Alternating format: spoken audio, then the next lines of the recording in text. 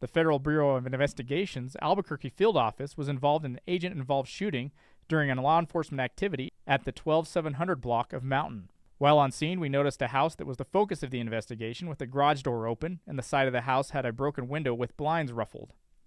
In an emailed statement, the FBI said one subject is deceased and FBI personnel were unharmed.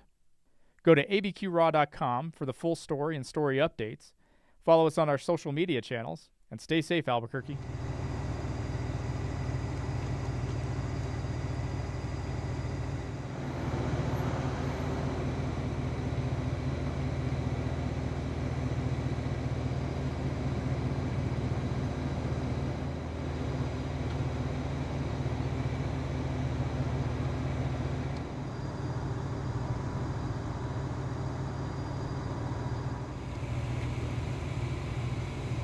In Rudy's was uh, provided.